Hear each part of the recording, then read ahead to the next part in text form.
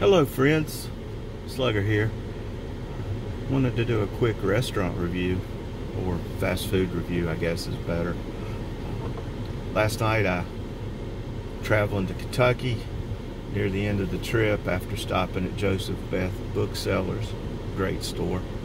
Uh, I drove through Raising Cane's. Never eaten at one before. They're not in our area.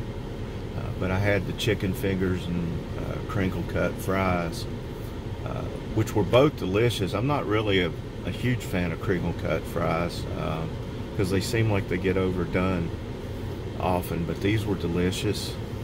Uh, the, the, chicken was nice and tender. Uh, the garlic, or I guess it's Texas toast is what they called it. Yeah, it, it wasn't fresh, so it wasn't great. But um, good restaurant, so I'll be eating there again. You guys have a great Sunday. Peace.